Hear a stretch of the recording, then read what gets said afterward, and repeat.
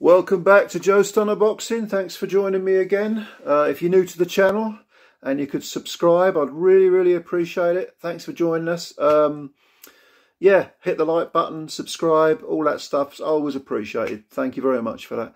Um, right, where to begin with this one? Um, Kiko Martinez becomes a two-weight IBF world champion by knocking out Kid Galahad, or should I say, knocking him flat, and I mean flat, in a fight where he hadn't really won more than a 15 second period of any of the previous rounds. He was being completely outboxed and produced a Hail Mary punch, which effect well actually, as I'll as I'll explain if you haven't seen the fight, it was two Hail Mary punches. Um, yeah, 35 years of age, uh, a two-weight IBF champ, super bantam years ago, and now he's a champ again. Uh, it's an amazing, amazing turnaround, an amazing highlight reel knockout. Um, Galahad, the champion, was expected to deal with Kiko Martinez very, very easily. My personal prediction was I thought he'd stop him late. Um, no one predicted this, I don't think. I can't remember hearing anyone say they thought Martinez would win. Uh, and the fight was going right up to that point, the point of the knockout was going exactly how most people, myself included, thought the fight would go. Galahad came out. Um, he was switch hitting, looked just as comfortable as a southpaw as he did as an orthodox fighter. No problem with the port side stuff, you know, switch hit. Uh, Martinez, much shorter, shorter arms, shorter reach. Um, he had one thing on his mind, that was try and get close and land those big overhand rights. Be busy, try and outwork the guy, but Galahad wasn't letting him do that. He shook Martinez badly. I think probably two minutes into the first round, Martinez was near a corner. His legs did a little stutter step when he was clocked. And so it continued. Now, in the third round, Martinez gave a hint, or hints, I should say, that he was getting closer. And I'm not sure whether this was because he just found the range, got into a little bit of a rhythm, or whether it was because Galahad was allowing him to get closer because Galahad had no respect for his power. But certainly by the fourth round, they were getting a lot more up close and personal. And it was noticeable that although Galahad was still dominating, apart from that first round, he hadn't really hurt Martinez. He was keeping him honest, but Martinez was getting closer and letting his hands go more. And this continued right into the fifth round. And again, Galahad was winning every minute of every round. But right at the end of the fifth round, Martinez threw an, one of those if you've ever seen him fight, and let's be honest, we've probably all seen him fight at least a dozen times. He's been around forever.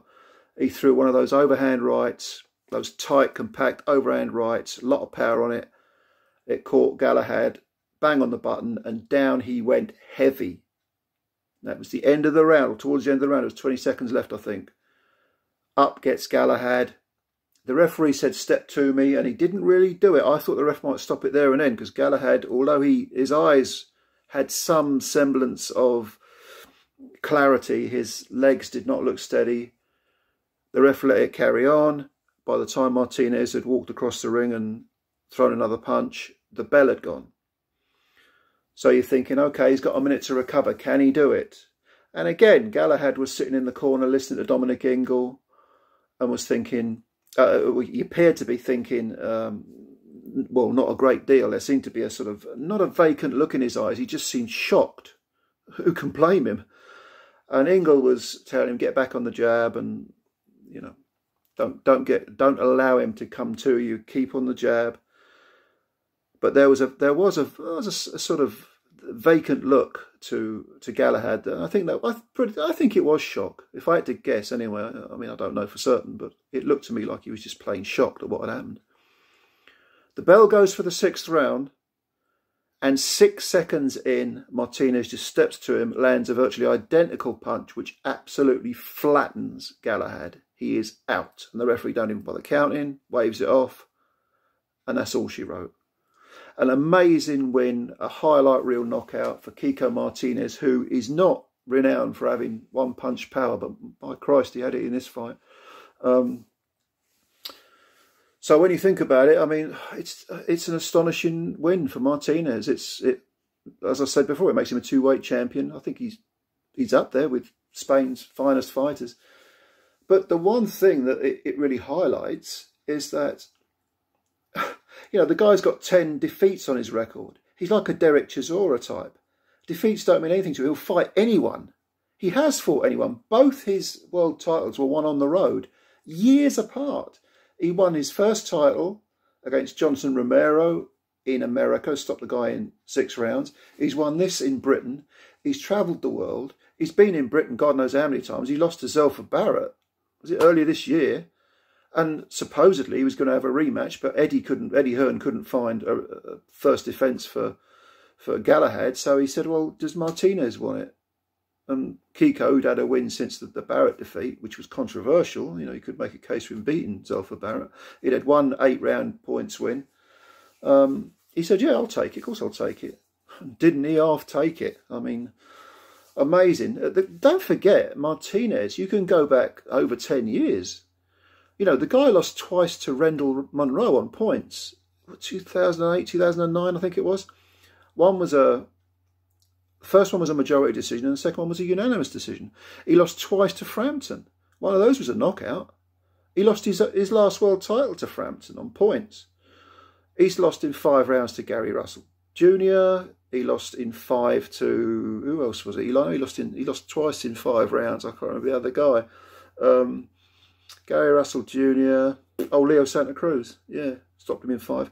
He got wiped out in two rounds by Scott Quigg. So this guy has had, he's had those are his four knockout defeats. He's had 10 defeats in total.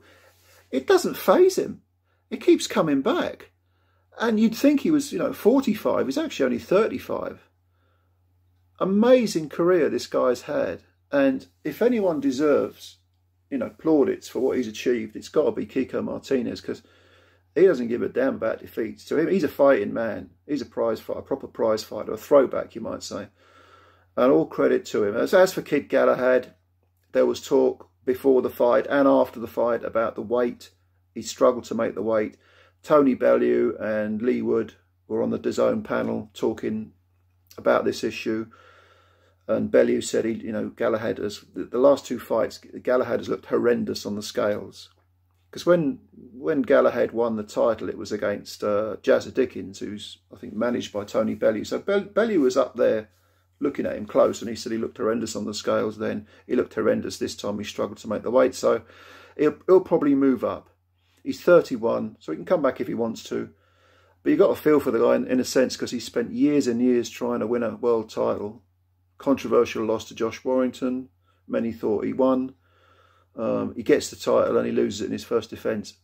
In by a again a highlight reel knockout. Amazing, amazing fight amazing conclusion. The fight was one-sided. You know, it was going exactly as you thought it would go, and then bang. And probably that's one of the reasons why we love boxing, right? But uh, yeah, did you see the fight? What did you think of it? Let me know in the comments section. Um, bad, bad night for Eddie Hearn because Terri Harper got iced as well. So it's a really bad, bad night for him. Matchroom DAZN. Um, but yeah, I'll do I'll do a video on the Terri Harper thing because that's worth doing. I think that was that had a really shocking ending as well. But yeah, let me know your comments below. Thanks for tuning in again. If you if you're not uh, if you haven't subscribed to the channel, you could do so. I'd really appreciate it. But thanks for tuning in, and yeah, peace to you.